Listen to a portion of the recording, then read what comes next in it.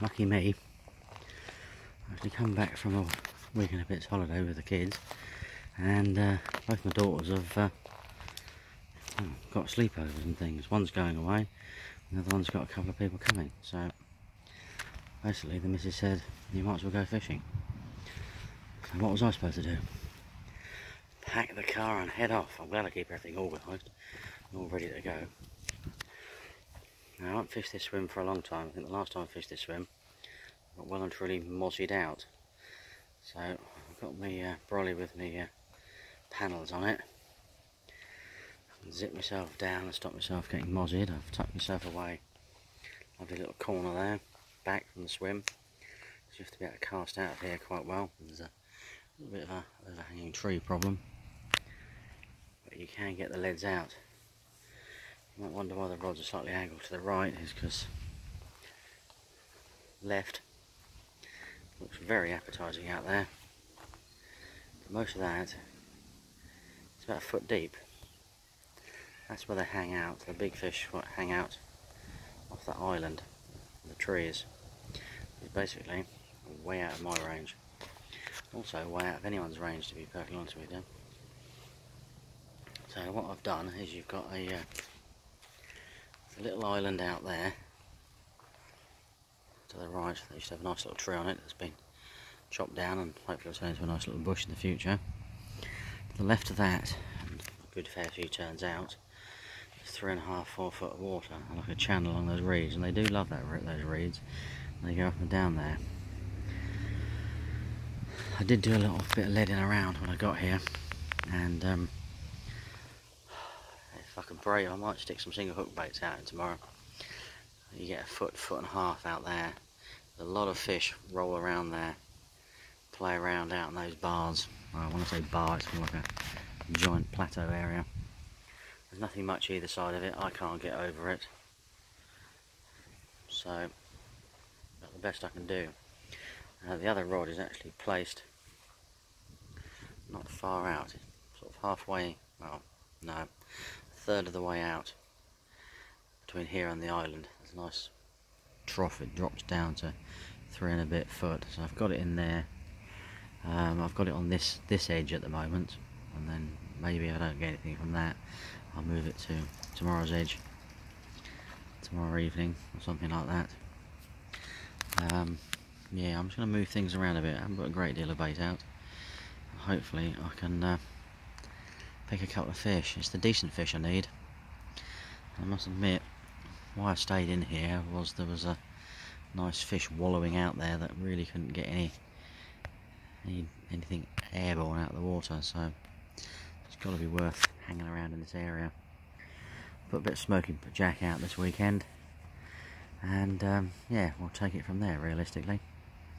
See how we get on. Anyway, I'll give you an update tomorrow morning. So I'm all uh, all set up nicely, which is quite good. Oh, one thing I forgot about the beauty of this swim. There's my car. the unhooking mat and everything's all set to go. Bucket of water, weigh sling. Both nets are uh, in the water. Keep getting the odd line on the right hand rod, which I may get. Because it goes a very shallow area and they cut around this corner sometimes. Just have to see where we go on that one. Anyway, leave that pleasant view and uh, catch up with you tomorrow morning.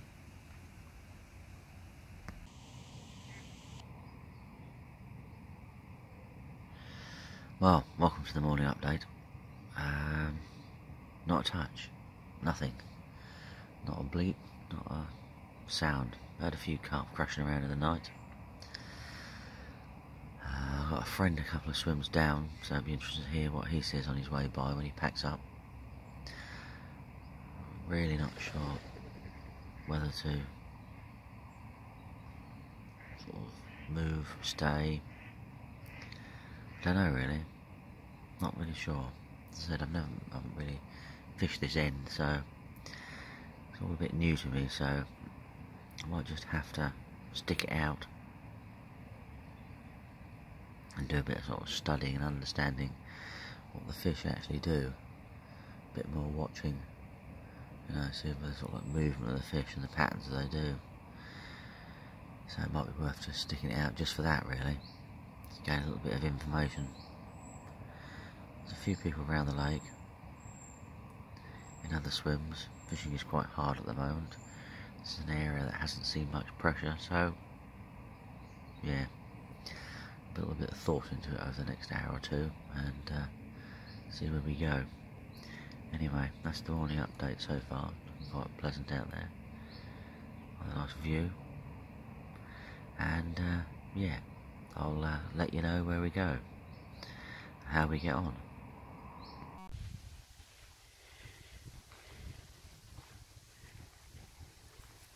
Well, I've decided it's time to uh, head home, I think. Seems to be much doing out here, so I'm going to uh, go home, get some brownie points for the wife, and then come back. Maybe tomorrow night, maybe the night after, I don't know yet. Wind direction looks good, it's just the fish are not getting anywhere near me, and I cannot go anywhere near the fish really. I've had a look round, and the only areas I've moved to actually got people in, so I'll sit it out here in the hope of catching something, or go away and come back another day.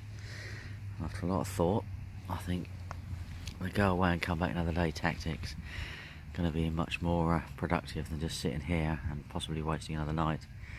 I could actually get out in better conditions, hopefully around during the week.